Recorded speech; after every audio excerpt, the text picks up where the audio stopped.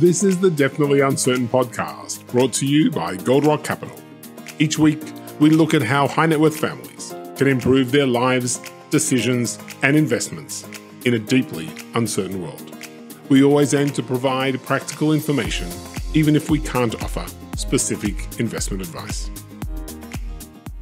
Welcome, everybody, to this episode of the Definitely Uncertain podcast. My name is Darren Rockman, and I'm a partner at Goldrock Capital the 20 year old multifamily office servicing high net worth investors around the world. And I am very, very privileged to have on the show this morning Jeffrey Sacks, who is the EMEA head of investment strategy at Citi Private Bank. Uh, Jeffrey, welcome.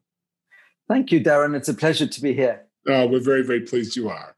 So, we are going to talk about investment strategy and investment allocation and some specific things that are going on in the investment world. Clearly, this year has been a wild and difficult year for investors, and a lot of things have changed from where we were back at the end of 2019. Um, one of the things that's happened, of course, is that interest rates around the globe have plummeted, um, and effectively we are at zero interest rates in almost every Western economy. And that means that there's been very little money to be made by investors, either in government bonds or in corporate bonds. So, where are you advising clients to go uh, to make some type of yield in this environment? Well, very selectively, we're funding opportunities in high yield and emerging market debt mainly. But just starting at, at the, the reason for why rates are so low, at the start of this year, we felt that rates couldn't go lower, but, but they have because governments need to finance their fiscal expansions cheaply. So our base case is that the central banks will continue to be accommodative over the medium to long term, which means low rates for longer, even lower and longer than we envisaged in January. And the second thing that's happened during the last six months is that the central banks have increased their quantitative easing policies. In other words, they're buying more bonds than they were already buying in January of this year, which is putting downward pressure on bond yields. So what we've seen over the last few months with initially the, the flight into safe havens like treasuries, they've had tremendous rallies, but they now look fully priced. So in areas like treasuries, we've moved to neutral. In government sovereigns more generally, we're underweight. Something like a 10-year German bond yielding minus 50 basis points, you wouldn't buy it and hold it to maturity because you're guaranteed to lose money. So you need to be selective. And if you look at the areas I, I briefly mentioned, starting with high yield, well, in the US and Europe, you've still got positive yield. And that's what investors first and foremost are looking for. And that's despite rallies of 20% plus in high yield in US and Europe year to date. So if you take Europe as an example, the high yield space has moved in yield down from 10 to 4.5%. Spreads are uh, down to 420 basis points. But that is still, in absolute terms, decent and in relative terms, really attractive. And what's interesting is that the central bank buying in sovereigns and investment grade is trickling down into high yield because sellers of those sovereigns and investment grade are keeping their fixed income exposure and buying high yield. Secondly, you've got another source of buying, and that's these investors scrambling for positive yield. We're seeing it in the new issue market most dramatically, where we've had corporates looking to issue to take advantage of lower coupons that they can achieve. So the issuance program has been huge, while at the same time, the response from the market has been even bigger. So that's telling us that demand for anything yielding positive is, is there. And the default cycle is muted. It's turning upwards, but only slowly. And that's because of the policy uh, accommodation that we've got in place. And leverage for this stage of a cycle, we think we're early stage, is only modest. So selectively in high yield, we're finding opportunities. We particularly prefer so-called fallen angels those are investment grade bonds that have fallen into the high yield space. Right. If you look at emerging, sorry, Darren. So I, I, just want to pick up on a point you were making before about default. So of course, the, the issue with high yield is these tend to be uh, not as strong companies, and therefore the risk that investors are taking that they will lose money if the company goes into bankruptcy. Uh, how do you see that default cycle? You're saying it's muted at the moment, but how does that look uh, out over the next uh, year or two? Are investors really, even at 4%, are investors getting paid for the risk that they're taking? We think they are. And we think that it is average 4% at the moment in, in Europe and uh, around the same number in the US. We think it's going to trend to six to eight over the next 12 to 18 months. So, what we're emphasizing to our clients is to be selective within the high yield space. You've still got 90% of the universe that's unlikely to default. And what's interesting about what COVID has done is that it's much more clearly differentiating the winners from the losers at the corporate level. And in particular, those with balance sheet strength and cash flow strength are likely to survive. And there's still a decent universe of those. Right. Okay. Um, I think emerging market debt is worth just spending a minute yes, on. Yes. Go ahead. Uh, again, we've had a terrific rally, but there's further to go. We think some of the macro risks in emerging are mispriced. While they're still facing pressures, credit risk related pressures and COVID pressures, we think that the pricing reflects that to a large extent, especially in dollar bonds. And we prefer the, the quasi sovereign bonds. So those are corporates partly owned by governments. And we're also finding opportunities in local emerging market debt because we like the outlook for some of the emerging market currencies, given that our dollar view is cautious and, and those emerging currencies will be beneficiaries.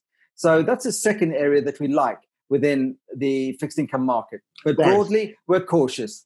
What, One of the risks always in emerging markets is what happens if we ended up with interest rates ballooning and particularly at the long end so longer term interest rates 10 5 10 years and the ability of uh, emerging market uh, economies to then be able to pay the rates that they need to pay on uh, those longer dated uh, uh, instruments. Do you see any risk of that in the next few years? Certainly not in the next few months. We're seeing a cyclical pickup, but it's a slow, gradual pickup. And that's being held back by uh, COVID related uh, forces. And we think that'll continue. So, no massive spike in yields is expected. I think something else that's important is the Fed swap lines introduced in April have supported countries, especially in emerging, and also companies, individuals with dollar liabilities. So that that'll be a supportive factor. And I think what's finally interesting with emerging just, uh, maybe explain those swap lines simply, if you can, uh, for the listeners. Well, they enable uh, countries and individuals and corporates that have got do- dollar liabilities to access the dollars that they need more easily through the swap lines that have been introduced.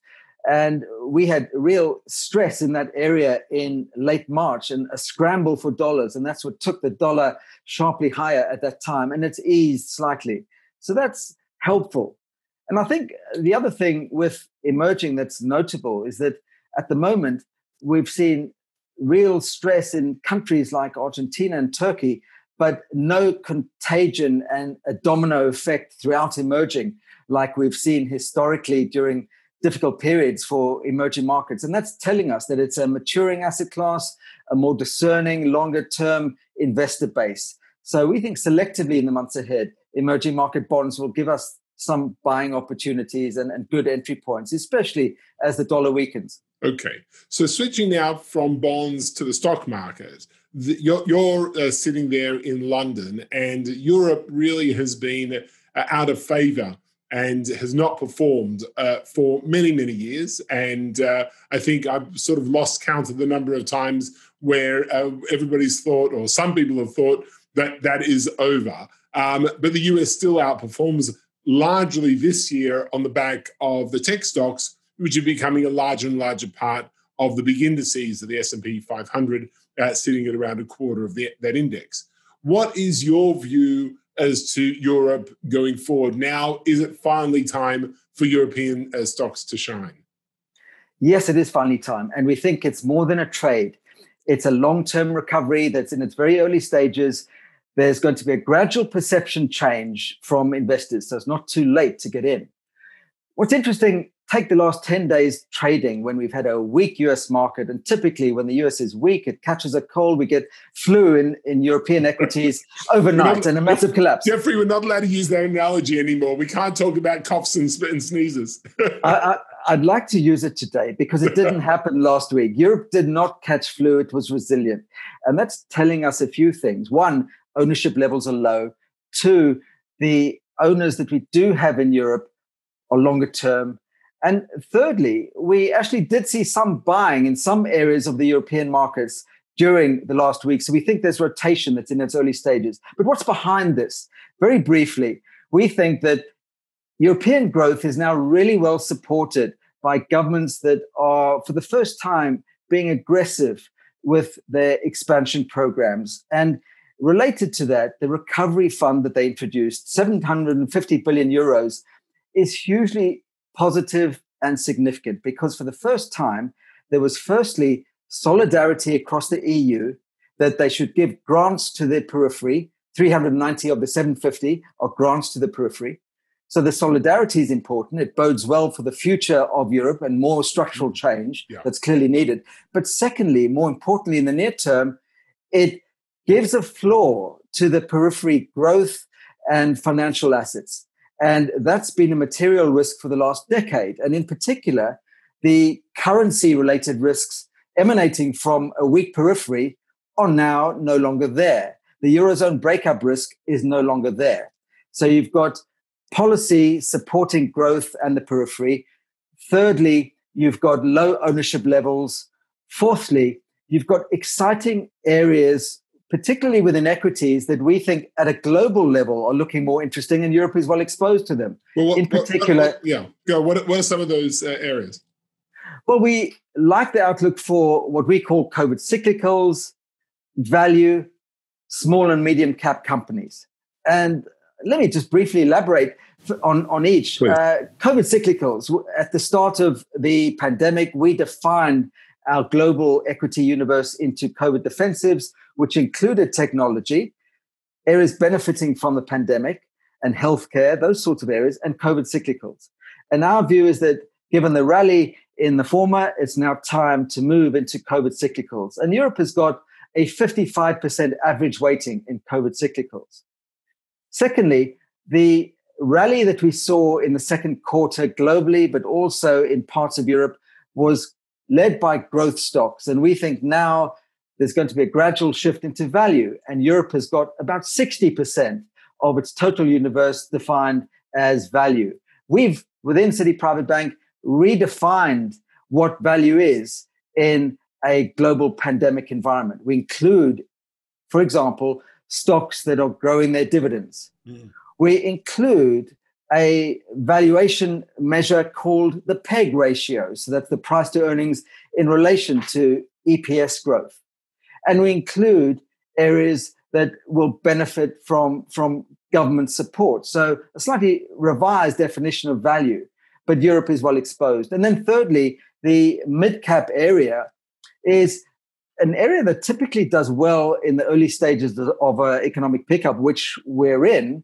But also within Europe, we've gone back historically and looked at how that sector has performed in the first 12 months after a sharp decline.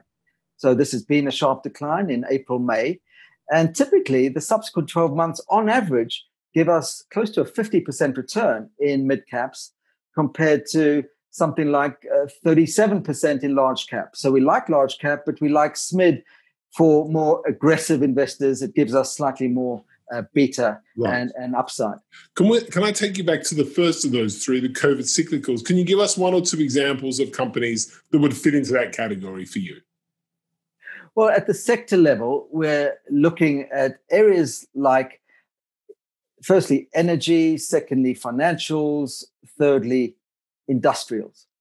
So if you take industrials as an example, Siemens in Germany the industrial company, uh, broadly exposed not just to the domestic economy, but also as an exporter. It's going to benefit from the economic pickup, and in particular, the pickup in Asia, which is happening first. And our work shows that exporters from Europe, especially a country like Germany, have got a really close correlation with Asian economic growth. Right. If you look at the, the bank sector, typically they perform uh, with the cycle, and the average European price to book is 0.5.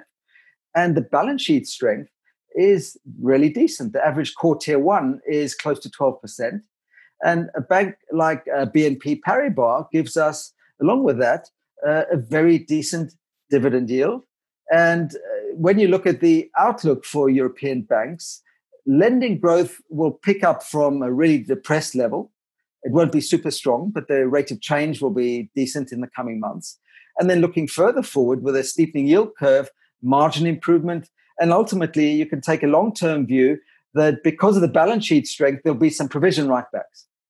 And then the energy sector, we think benefits from consolidation in the sector that's happening uh, gradually, but also a firmer oil price. Again, not uh, super strong. It's going to be held back on the on the top side of the range by supply coming back on stream, but a gradual pickup in demand supports the oil price at at least these levels. That supports uh, well two areas: uh, the traditional fossil fuel companies, which look attractively priced with dividend yields in many cases. But we also like the outlook for alternative energy where we can get exposure through some large caps that are moving into that area, but also through smaller companies in that area. While we're talking about Europe, the uh, one of the concerns that you've heard recently, as the tensions have increased between the US and China, uh, around trade issues, uh, something we've talked about at a recent podcast. Um, one of the concerns you've heard is this is going to impact Europe because China is such a big market for European companies. How much do you think that there is uh, weight to that argument? And are European companies actually being able to change their markets and redirect their exports to reduce their dependence on China? We think it's the latter. And another example of COVID accelerating a trend. It's accelerating the trend for companies to shift their supply chains. And a lot of European companies, like US companies, are moving more national. It's a slow process, but it's starting, it's accelerated now. And we think over time, that's going to be supportive for Europe more broadly. Something else we're watching quite closely is the US election because should, for example, Joe Biden win and, and win decisively, we think that's going to be positive for Europe on the trade front. Uh, one of the initiatives that, that he will likely prioritize is rebuilding diplomatic and trade ties with Europe in the in the coming months. Right. Well, is it, isn't uh, isn't that an incredible world we live in, where we have to talk about reestablishing trade ties between the United States and Europe? Um, back to China for a second. One of uh, the what you call unstoppable trends um, has been the rise of the Chinese middle class. Um, how do investors take advantage of the internal changes within China, which have been going on for quite a long time, but seem to be continuing as more urbanization and people within the cities actually going up in, in, their, in their socioeconomic standing?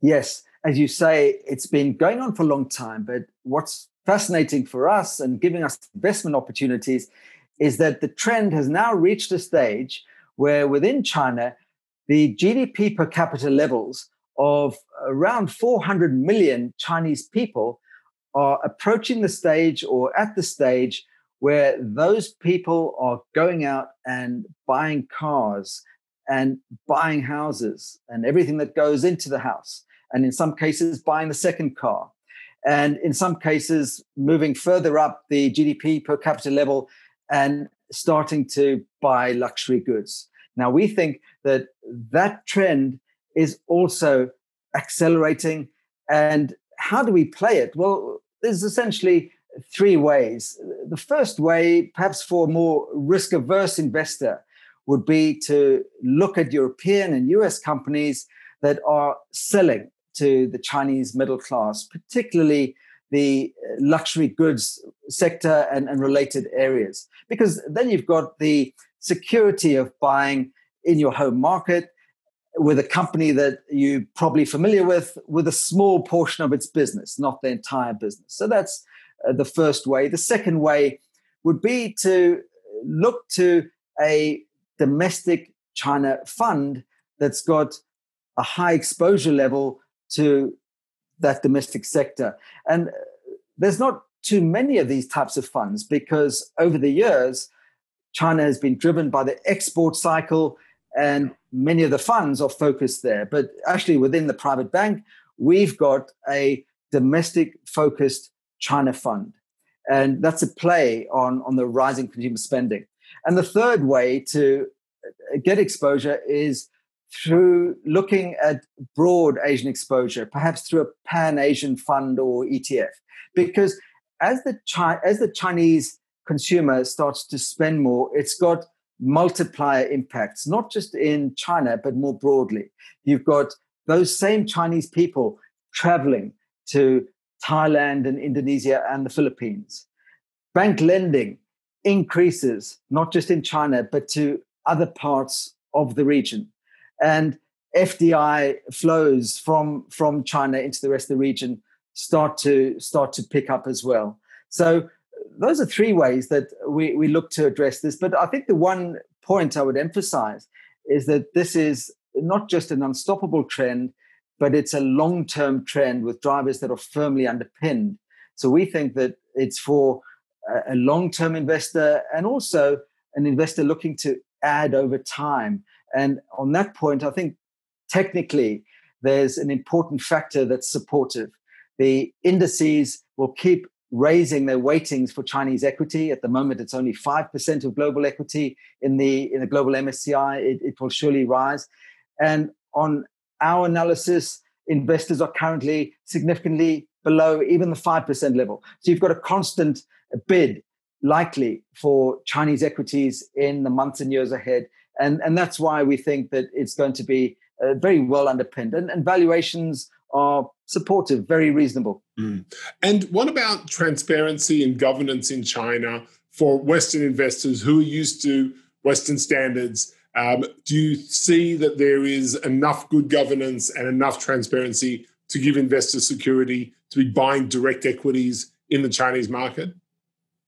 There is enough in a good sized universe of Chinese companies.